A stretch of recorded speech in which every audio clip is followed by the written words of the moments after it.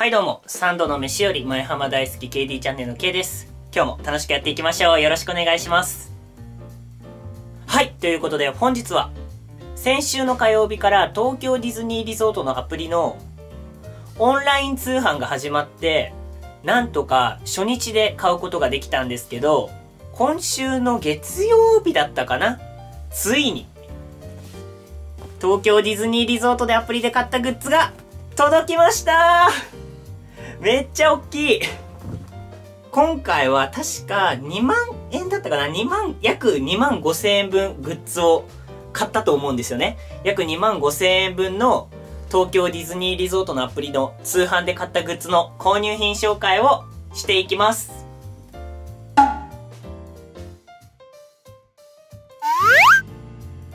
それじゃあ中開けていきます。てかこのランドと C のねシンボルというかプロメテウス火山シンデレラ城が最高。ショッパーが入ってて。あぬいぐるみ系が上だ。それでは1点ずつ買ったグッズを紹介していきます。まず1点目に買った東京ディズニーリゾートのアプリ通販のグッズは一人暮らしや主婦におすすめです。トルグリーン麺の調味料入れを購入しました。サイズが手のひらぐらいのサイズで、リトルグリーン麺のお口がこんな感じでパカって開いて、砂糖や塩とか調味料を入れることができます。容器も底が深くなっていて、調味料を多く入れることができそうです。お値段は1500円で、イラスト通りで開けたまま保管することもできます。自分は砂糖の調味料入れにしようかなって思っていて、料理作ってる時にトイストーリーのリトルグリーン麺を見ながら、ディズニー気分を味わいながら料理を作りたいと思ったので、今回購入しました。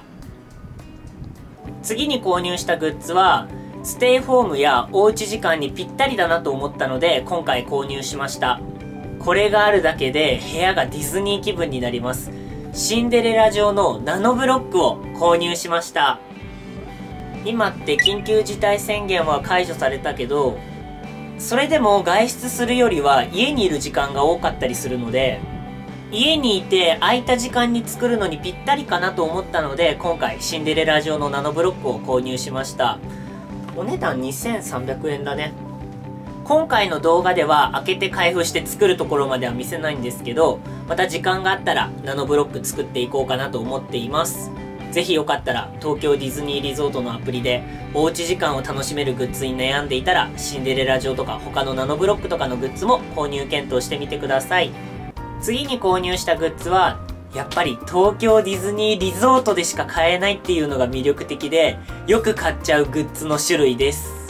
島村やユニクロとかでも売ってるけど、やっぱり現地のソックスが欲しくて、今回は去年販売していたファンタイムウィズトイストーリー4のソックスを購入しました。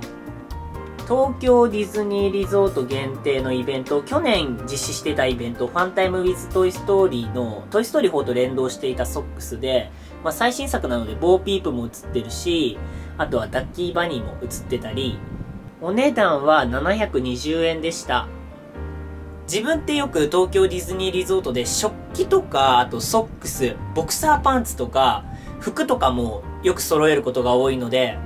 今って臨時休園中で異例のオンラインショッピングで通販をやっているので、なかなか遠方組の方で沖縄とか北海道とかでパークに行く機会が少ない方だったらこの機会にシャツとかソックスとかボクサーパンツを買うのもいいんじゃないのかなと思うし自分は去年ファンタイムウィズトイストーリーのグッズの購入品紹介やってるんだけどこのソックスは前々から欲しくて去年買い忘れていたっていうのもあったので今回いい機会だったので購入しました。もうこれを履くだけでトイストーリー気分が満喫できそうです。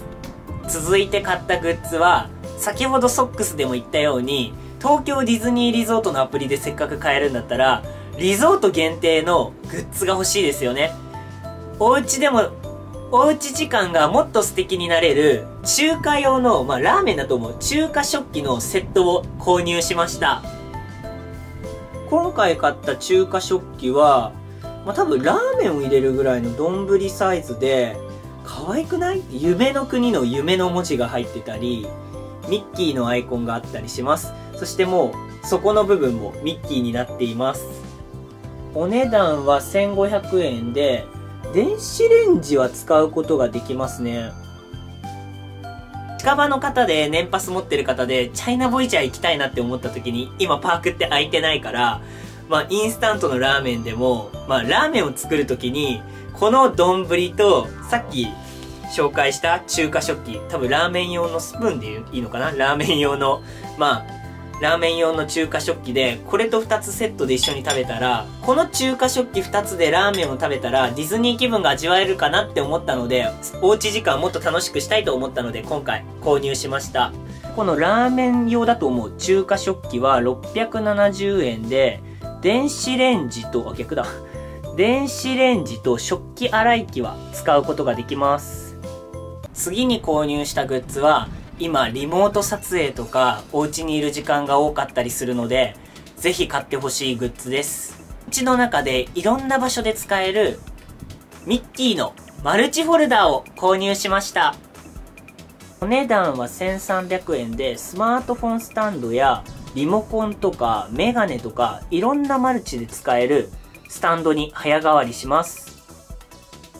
はい、ということでマルチホルダーを購入したので紹介していきます。マルチホルダー、先ほども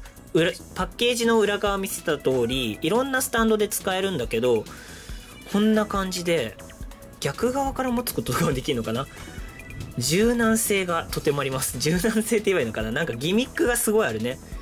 なので、まあ、こんな横側というかスマホを横に使うこととかもできそうだし、あとは、まあ、尻尾も曲げられるから、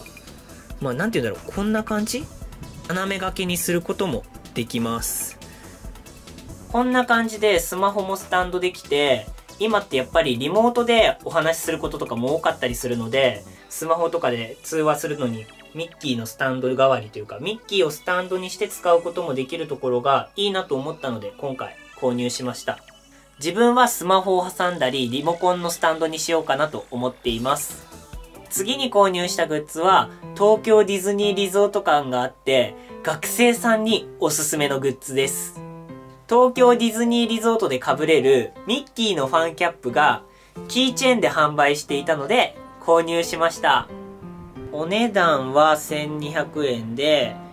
先ほども言ったように、東京ディズニーランドと C で、ミッキーのこのファンキャップが被れるんだけど、キーチェーンになっていて、ひょこんってしていて、可愛かったので、今回購入しました。学生さんでも買いやすい1200円の金額なので、自分はランドと C に行く時のトートバッグにディズニーらしさを追加したいので、今回、キーチェーンを購入しました。ぜひよかったら1200円で買いやすい金額なので学生さんの方、東京ディズニーリゾートのアプリで売っていたら購入してみてください。ひょこんってしていて可愛いね。そして次が最後に買った雑貨のグッズを紹介します。去年東京ディズニーリゾートで販売して話題になっていたポージプラッシーの衣装が変えられるチップとデールとドナルドとデイジーとグーフィーをまとめて大人買いしました。はい、ということで今回ポージプラッシーを大人買いしました。今回は数が少し多いので簡単に5体商品紹介をしていきます。まずはドナルドを紹介していきます。ドナルドも前まで販売していたんだけど、去年の10月のワンマンズドリームのグッズから着せ替えができるようになりました。可動範囲が、まあ、こんな感じで足を上げれたりとか手も上げられたりとか好きなポーズで写真を撮ることができたりします、まあ、それがポージプラッシーの売りだよね。そして新しいポージプラッシーは着せ替えができるので頭の部分とかがこんな感じでマグネットになっています。ドナルドは裏側から着せ替えができます。お値段は2500円でした。次はデイジーですね。デイジーのお顔は、やっぱお顔選びたい人はアプリじゃなくて現地がいいかもね。まあ、まあいいや。まあそれを見込んでちゃんとアプリで買ったので、デイジーの着せ替えも反対側でできて、なんかマジックテープみたいになってるね。頭の部分もマグネットになっているので、今着せ替えできるのだったらワンマンズドリームが着せ替えすることができます。次はグーフィーですね。グーフィーは靴は着せ替えとかできないのかな？多分かぶせるんだと思う。でグーフィーはドナルドとデイジーに比べたらサイズは大きめで金額が同じ金額だ。ドナルドデイジーグーフィー。2500円で。反対側これベストどう脱ぐんだろう？あベストはここから普通に脱ぐんだ。ベスト脱がせてここにマジックテープがあるんでマジックテープと多分ズボンもそのままかな。うん。多分脱げる感じだね、まあ、ズボンも脱がせることができます。次はチップとデールです。かわいいチップとデール。裸だね。裸なので着せ替えはないね。その衣装着てないから。で足もあ可愛い。チップとデールなんかちょこんってしてて可愛いね。で金額が確かドナルドとデイジーとか衣装着てるからちょっと高めなんだけどチップとデールは金額が少しお安めで2100円ですね。1体2100円で販売しています。前に紹介したと思うんだけど、自分このポージブラッシーの新しいのミッキーとミニーは持っていて、それ以外のポージブラッシーのディズニーキャラクターは持っていなかったので、今回東京ディズニーリゾートに行かなくても買えることができるということだったので、もういい機会だからまとめ買いしちゃおうって思って購入しました。なので本当にドナルドの着せ替えもできるし、着せ替え書持ってたら、デイジーも、グーフィーも前の着せ替えできないのを持ってるけど、今回いいかなって思ったので購入しました。これでポージプラッシーで販売してるミッキーフレンズはプルート以外は揃ってるので、まあ、ワンマンズドリームの衣装は全キャラクター持ってるので、また動画上げれたらワンマンズドリームの着せ替え衣装の購入品紹介もあげますので楽しみにしてもらえると嬉しいです。はい、ということで以上が雑貨のグッズの購入品紹介でした。雑貨の購入品紹介なので、雑貨じゃないお菓子も今回購入したので紹介していきます。お菓子は2種類今回購入していて、定番のチョコクランチのミルク味と、もう1個のお菓子はパークに行った時に帰ってお家で食べることが多かったお菓子のポテトヘッドのスナックセットを購入しました。チョコクランチはククール便で送ってきてたかな？今回まとめてチョコだったのでクール便でお値段800円で買ったのが5月の20何日？先週の火曜日なので約7月11日、1ヶ月ぐらい日持ちします。ポテトヘッドのスナックは3個入りで、見た目が本当に某ミスチェーン店のドーナツのような長方形の箱の仕様で、賞味期限がチョコクランチと同じぐらい1ヶ月の日持ちで、お値段720円でした。ポテトヘッドのスナックは個包装で3個入りになってるのでよかったらお友達とかにも配りやすいので購入検討してみてください。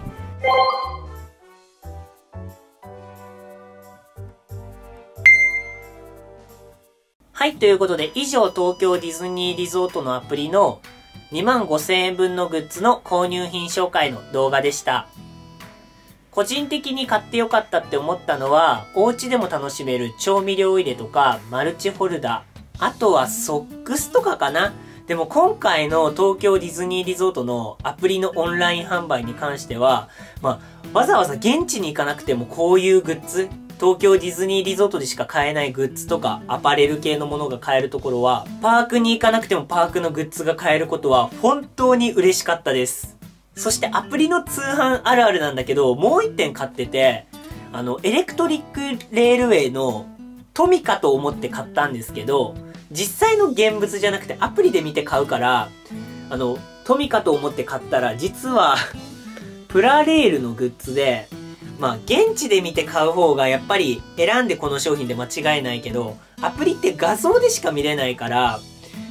前にもアプリであって、ファンタズミックの画像だけで見たけどマグカップがちょっと自分が思ってたのがと違ったりした時に、アプリの通販で買う時、そこのデメリットもあるなって今回思いました。このプラレールのエレクトリックレールウェイは、まあ、今後プラレールとか買う機会があった時に、購入品紹介というか、開けて使おうかなと思っています。今回の東京ディズニーリゾートのアプリのオンラインは、確か月曜日と金曜日が定休日で、